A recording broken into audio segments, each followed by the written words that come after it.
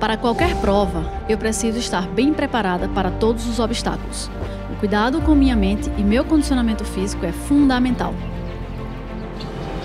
Meus dedos contribuem para a prova de tiro.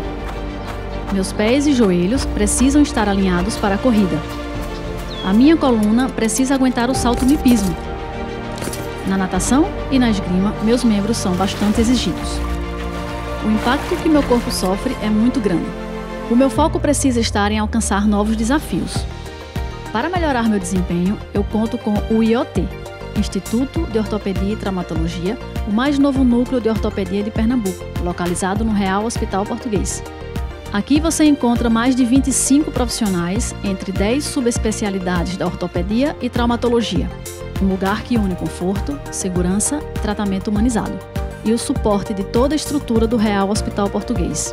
O IoT foi feito para todos nós, da criança ao idoso, do atleta de alto rendimento ao atleta de final de semana. Eu já faço parte desse time, só falta você. IoT Recife, um novo conceito em ortopedia.